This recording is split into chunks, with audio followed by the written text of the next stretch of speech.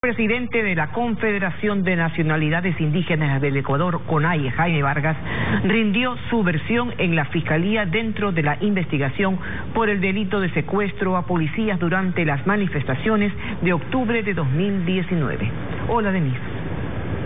¿Qué tal, Tania? Amigos, buenas tardes. Sobre el mismo caso también fue convocado para esta tarde el dirigente indígena Leonidas Isa. Paul Romero con los detalles de esta diligencia. Al tercer llamado de la Fiscalía y bajo prevenciones de ley, el presidente de la CONAIE, Jaime Vargas, llegó a rendir su versión. La Policía Nacional le denunció, al igual que al dirigente indígena Leonidas Sisa, por el presunto secuestro de varios policías el 10 de octubre de 2019 en la Casa de la Cultura durante las movilizaciones en contra del gobierno. A los dirigentes les acompañaron decenas de simpatizantes que irrespetaron el distanciamiento social para evitar contagios de coronavirus. La diligencia duró menos de una hora. Vargas insistió en su inocencia sobre la retención de los policías.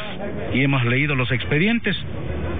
La peor falsedad de la historia. ¿Qué dicen los expedientes? Bueno, igual dicen que Jaime Vargas era que estuvo ahí, secuestró, maltrató, o sea, de lo que no es. Por eso yo creo que en el proceso eh, tendremos que convocar a todas las, a todos los organismos internacionales de derechos humanos que estuvieron presentes ahí. Pero no se trata de la única denuncia en su contra por los hechos de octubre. Son varias. Me han informado que tenemos ocho. Bueno, tendremos que responder. No me han dado respuestas de terrorismo, de secuestro, de todo. Va a quedarse en el país. Vamos a estar aquí. Entre ellas, la presentada por el ex candidato a la prefectura de Pichincha, Marcelo Ayo, por instigación.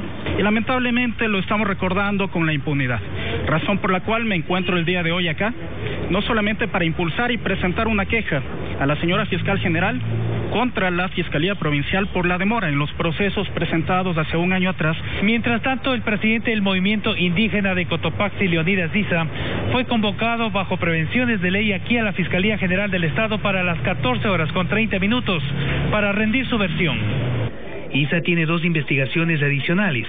La más reciente por destrucción de bienes del patrimonio cultural. Esto tras los daños causados el pasado 12 de octubre a la estatua de Isabel la Católica en Quito.